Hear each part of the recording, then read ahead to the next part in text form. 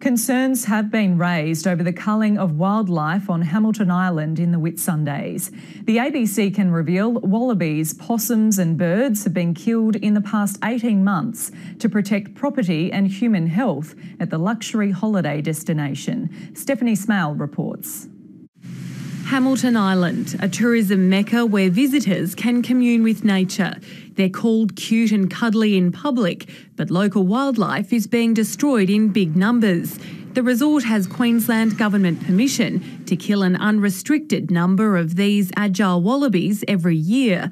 Between November 2014 and May this year, 393 were shot. We're certainly not in favour of, of culls of this magnitude continuing. Nearly 600 brushtail possums have been destroyed too. I don't feel that's the overall answer at all. It's unclear what percentage of each species is being taken out.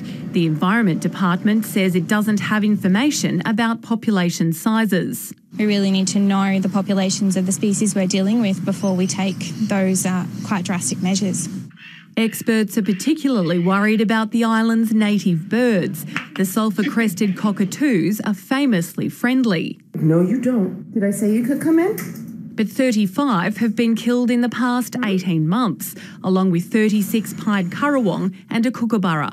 The Environment Department says the so called damage mitigation permits are in place on the island to prevent damage or loss of property and to protect the health and well-being of staff, guests, and other visitors. Only one of the permits covers the airport to reduce interference from wildlife. If they're just culling them because they're basically an inconvenience, then we just can't support that. Hamilton Island says birds and possums can be aggressive and cause hygiene and disease concerns. Management says agile wallabies are a threat to transport and native vegetation, but insists animals are culled as a last resort. Hamilton Island says it's proactive in managing problematic wildlife. Stephanie Smail, ABC News.